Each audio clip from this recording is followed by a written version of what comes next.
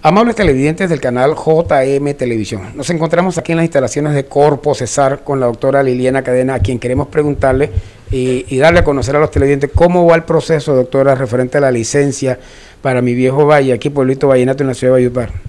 Buenos días, pues efectivamente, eh, para ponerlos en contexto dentro del marco de la competencia de la corporación, nosotros eh, las facultades que nos da la ley 93 del de 1900, perdón, la ley 99 del 93, lo que nos permite es asesorar a los departamentos, distritos y municipios dentro de la comprensión territorial de la definición de planes de desarrollo ambiental y sus programas.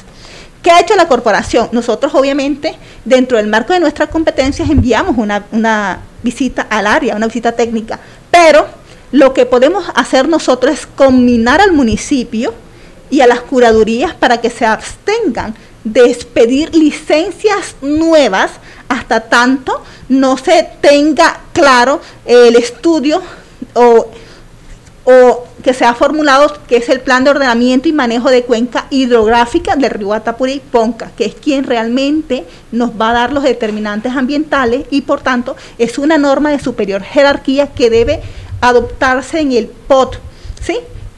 Y por ello el deber ser nuestro es combinar al municipio, combinar al, a, y a las, a las curadurías de abstenerse a licencias de construcción nueva. Nosotros no damos licencias de construcción, nosotros damos permisos en el evento que se necesite hacer algún aprovechamiento de los recursos naturales siempre y cuando sea pertinente.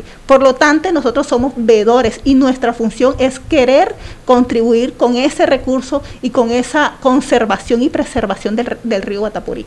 Pero estamos ahí prestos con la comunidad, estamos vigilantes de esa situación. Por ende, mandamos una, inspección técnica para verificar esas acciones, pero realmente eh, el alcance que nos permite la ley es eh, combinar al municipio a, que se abstenga de eh, expedir licencia de construcción nueva sobre el, la margen derecha de Río Turí, sobre todo en ese sector. En el caso de usted decir este punto, aquí quieto no va y la alcaldía hace omisión a eso, ¿qué puede pasar? ¿Cuál es el paso a seguir? Bueno, ya en el evento casi hipotético que eso suceda, eh, tendríamos nosotros obviamente que irnos a la ley 1333 del 2009, siempre y cuando la norma nos permita un proceso sancionatorio, porque hay que tener en cuenta que la norma nos dice que se debe respetar 30 metros, ¿cierto?, de la franja protectora del río Guatapurí. Entonces ahí empezaríamos a revisar esa acción dentro de nuestras competencias y además pasarles a las instituciones competentes adicionales para que también inicien las acciones pertinentes. Es el pronunciamiento que nos entrega la doctora Liliana Cadena. Liliana Cadena es la persona encargada de la parte jurídica en Corpo Cesar, la Corporación Autónoma de Cesar. Es la información, amables televidentes. Recuerden que somos la voz de los que no tienen voz para Canal JM Juan Alberto España.